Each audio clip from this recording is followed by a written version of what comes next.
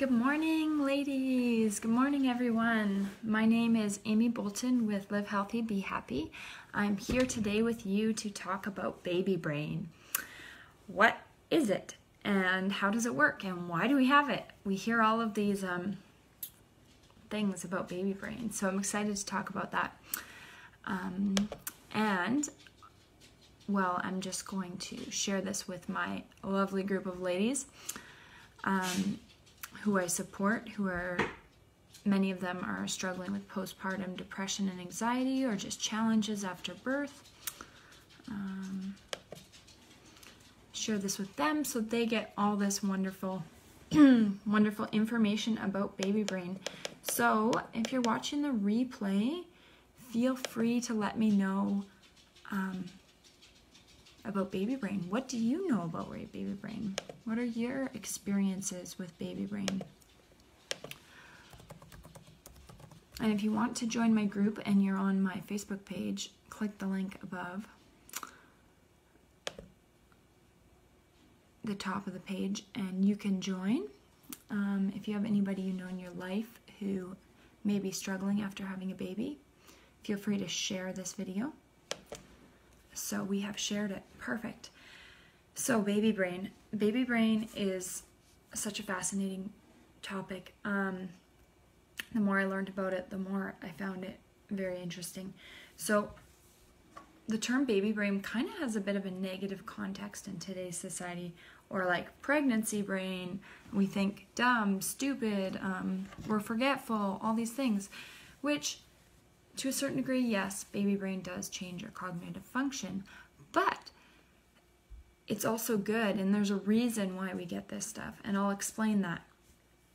Um, so it's there is a positive side to um, the baby brain. I know it's uh, it's hard to hard to fathom that, right, with all the forgetfulness and loss of cognitive function.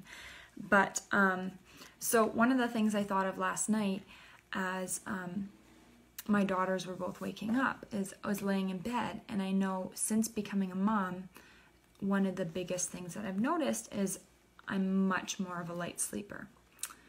So it's been like um, you know, you wake up when baby cries, you're just more sensitive to hearing noises in the house.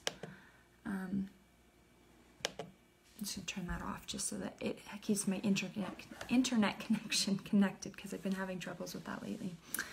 So um, so that so anyway, so last night um, the girls are waking up and they both sleep in their own own room now.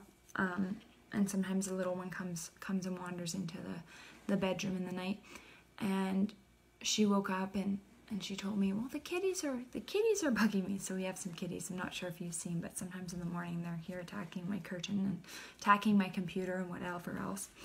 And so she asked me to close the door, which was cool. So we did that. But the reason um, I'm telling you this is because if I was my brain hadn't changed to being more of a light sleeper, being more aware um, it's like a, it's a safety mechanism, right? I may not hear what's going on as the girls are wandering around the house or if in the night or whatever's going on.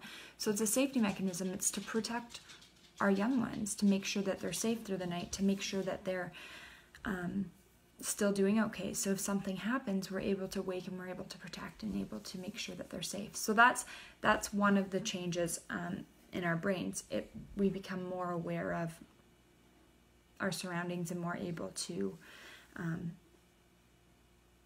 connect with those situations that come up, right? So that's one thing, and that's my story of last night, how that went. Um, so it is a good thing. So if you imagine analogy of a filing cabinet, so when you're when you're pregnant and when baby's born, what happens is um, it's kind of like your brain is a filing cabinet. So all the files are there and they're all placed in order and it kind of gets dumped out. The whole thing gets dumped out and all the files kind of go everywhere. And then when end it, what ends up happening is it has to start refiling itself back in and some things get taken away and some things get left behind. Now some of those things that get taken away are things like cognitive function, so memory. So we start after we have a new baby, sometimes we have a hard time with memory, and that's where we get the negative connotation of baby brain of it being a bad thing because we start to like the me the meme I shared in the group was forgetting your cell phone while you're talking on the cell phone. Like things like that happen to me all the time, and we just gotta laugh it off and keep moving on because we've got better files put in those places of that filing cabinet, better things that get put back in, and things that are more important as mothers. So we become um, more compassionate, more caring, more empathy. So more that empathy gets put back in place from that that um, cognitive loss, which is okay. Um, you know, as a new mom, you want to be connecting with your baby, you want to be bonding, you want that oxytocin, that love hormone to be connecting. You don't want to be necessarily, you know, studying for your PhD or anything because it's not really beneficial right after you have baby. Um, maybe you do, but that's not necessarily um, helpful. So, um, you may have heard the myth that there's 10% of your brain that you use. Well, that's totally a myth. I remember remember hearing that years ago and thinking, well, that's kind of weird. Why would we have this giant brain and only use part of it? Like, just kind of strange. But that's been debunked, and we do use 100% of our brain, so the whole part of your brain is being used. Um, so that was what I wanted to say. And then ox- oxytocin, we all have oxytocin male, female, everybody, all mammals have oxytocin. And that's the love hormone. And that's the part that, um, if we get lots of oxytocin, it can be a very good thing. So, um,